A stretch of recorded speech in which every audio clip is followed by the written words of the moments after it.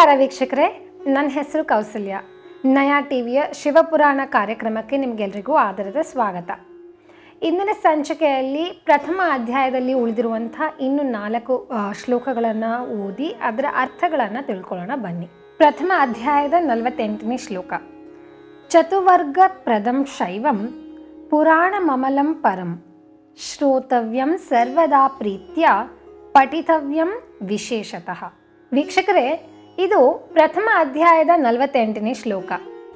ಇದರಲ್ಲಿ ಏನು ಹೇಳ್ತಾರಪ್ಪ ಅಂದರೆ, ಶೈವ ಪುರಾಣ ಅಥವಾ ಶಿವಪುರಾಣ ಅಂತ ಏನು ಕರಿತೀವಿ, ಇದು ಬಹಳ ಶ್ರೇಷ್ಠವಾದುದು ಇದನ್ನು ನಾವು ಪಠನ ಮಾಡ್ತಿದ್ರೆ ಅಥವಾ ಇದನ್ನು ನಾವು ಶ್ರವಣ ಮಾಡ್ತಿದ್ರೆ, ಅಂದರೆ ಯಾರಾದರೂ ಹೇಳ್ತಿದ್ರೆ ಅದನ್ನು ನಾವು ಕೇಳಿಸ್ಕೊಂಡ್ರೆ ಸಹ ನಮಗೆ ಧರ್ಮಾರ್ಥ ಅಥವಾ ನಾಲ್ಕು ಪುರುಷಾರ್ಥಗಳು ಏನಿದೆ, ಅದಷ್ಟು ನಮಗೆ ಲಭಿಸುತ್ತೆ ಅಂತ ಹೇಳ್ತಾರೆ.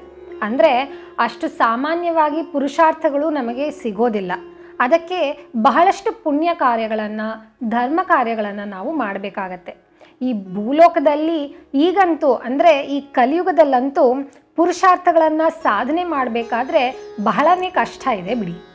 ಅದಕ್ಕೋಸ್ಕರನೇ ಶಿವಪುರಾಣದಲ್ಲಿ ಏನು ಹೇಳಿದಾರಂದರೆ, ಈ ಕಲಿಯುಗದಲ್ಲಿ ನಾವು ಜೀವಿಸ್ತಾ ಇರುವಂತಹ ಈ ಸಮಯದಲ್ಲಿ ಶಿವಪುರಾಣವನ್ನು ಕೇಳಿಸ್ಕೊಂಡ್ರೆ, ಈ ನಾಲ್ಕು ಪುರುಷಾರ್ಥಗಳನ್ನು ಪಡೆಯೋದ್ರಲ್ಲಿ ಯಾವ ಅನುಮಾನವೂ ಇಲ್ಲ ಅನ್ನೋದನ್ನ ಈ ಶ್ಲೋಕ ನಮಗೆ ತಿಳಿಸ್ಕೊಡತ್ತೆ. ಹಾಗಂತ ನಮಗೆ ಉತ್ತಮ ಗತಿ ಬೇಕು, ಮೋಕ್ಷ ಬೇಕು, ಮುಕ್ತಿ ಸಿಗಬೇಕು, ಪುರುಷಾರ್ಥಗಳನ್ನು ನಾವು ಪಡಿಬೇಕು ಅನ್ನೋ ಕಾರಣಕ್ಕೆ ಸುಮ್ಮನೆ ಯಾವುದೋ ಒಂದು ಕಾಟಾಚಾರಕ್ಕೆ ಇದನ್ನು ಕೇಳಿಸ್ಕೊಂಡ್ರೆ ಸಾಲದು.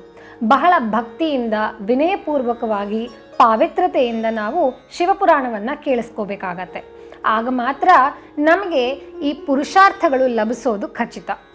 ಅಷ್ಟೇ ಅಲ್ಲದೆ, ಇದನ್ನು ಕೇಳಿಸ್ಕೊಂಡ್ರೆ ನಮಗೆ ಪುರುಷಾರ್ಥಗಳು ಲಭಿಸುತ್ತೆ.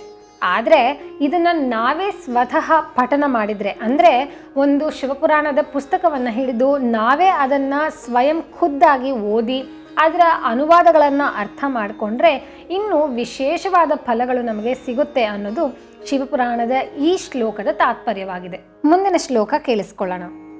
ವೇದೇತಿಹಾಸ ಶಾಸ್ತ್ರೇಶು ಪರಂ ಶ್ರೇಯಸ್ಕರಂ ಮಹತ್.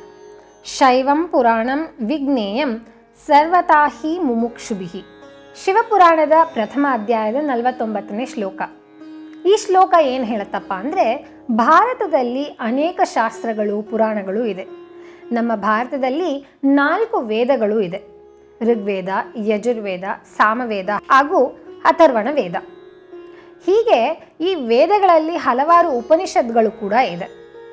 ಈ ವೇದಗಳು, ಉಪನಿಷತ್ಗಳು, ಶಾಸ್ತ್ರ, ಇತಿಹಾಸ, ಪುರಾಣಗಳು ಇದರಲ್ಲೆಲ್ಲದರಲ್ಲೂ ಶಿವಪುರಾಣನೇ ಬಹಳ ಶ್ರೇಷ್ಠವಾದುದು ಅನ್ನೋದನ್ನು ಈ ಶಿವಪುರಾಣದ ಈ ಶ್ಲೋಕ ನಮಗೆ ತಿಳಿಸ್ಕೊಡತ್ತೆ.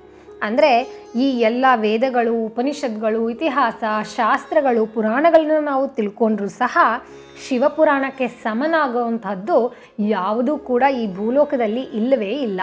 ಈ ಭೂಲೋಕದಲ್ಲಿ, ಈ ಕಲಿಯುಗದಲ್ಲಿ ಯಾವ ಮನುಷ್ಯನಿಗೆ ಮೋಕ್ಷ ಪ್ರಾಪ್ತಿಯಾಗಬೇಕು ಅನ್ನುವಂಥ ಇಚ್ಛೆ ಮನಸ್ಸಿನಲ್ಲಿರತ್ತೋ ಅಂತಹ ಮನುಷ್ಯನಿಗೆ ಈ ಶಿವಪುರಾಣ ಒಂದು ಮಹಾನ್ ಗ್ರಂಥ ಅಂತಲೇ ಹೇಳಬಹುದು. ಈ ಗ್ರಂಥವನ್ನು ಅಥವಾ ಈ ಶಿವಪುರಾಣವನ್ನು ಯಾರು ಪಠನೆ ಮಾಡ್ತಾರೋ ಅವರಿಗೆ ಮೋಕ್ಷ ಲಭಿಸೋದ್ರಲ್ಲಿ ಯಾವ ಅನುಮಾನನೂ ಇಲ್ಲವೇ ಇಲ್ಲ. ಅದೇ ಈ ಶ್ಲೋಕದ ತಾತ್ಪರ್ಯ.